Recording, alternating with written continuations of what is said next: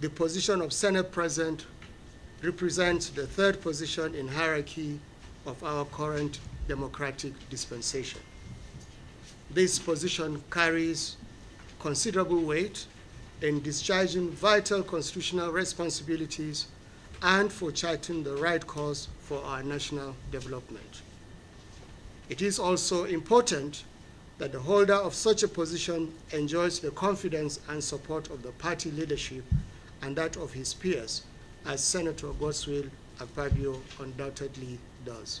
With this same spirit of fairness, we also affirm our solid support that the position of Deputy Senate President of the 10th Senate be considered to distinguished Senator Barau Jibrin, CON, representing Kano North Senatorial Zone, Kano State. It is our conviction that a diverse and united legislative leadership is critical to good governance.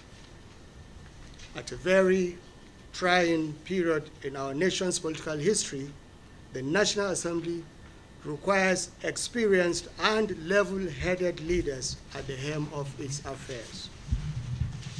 Gentlemen of the press, as you are all aware, the stakes are high and that a successful transition to a new political dispensation is key in ensuring national unity, cohesion, and overall progress as one nation. In view of the above, we wish to respectfully appeal to all other aspirants to these key positions to kindly support our position by withdrawing their respective bids. We believe that their withdrawal and cooperation will reduce the acrimony that commonly characterizes the jostle for power in the National Assembly amongst the geopolitical zones.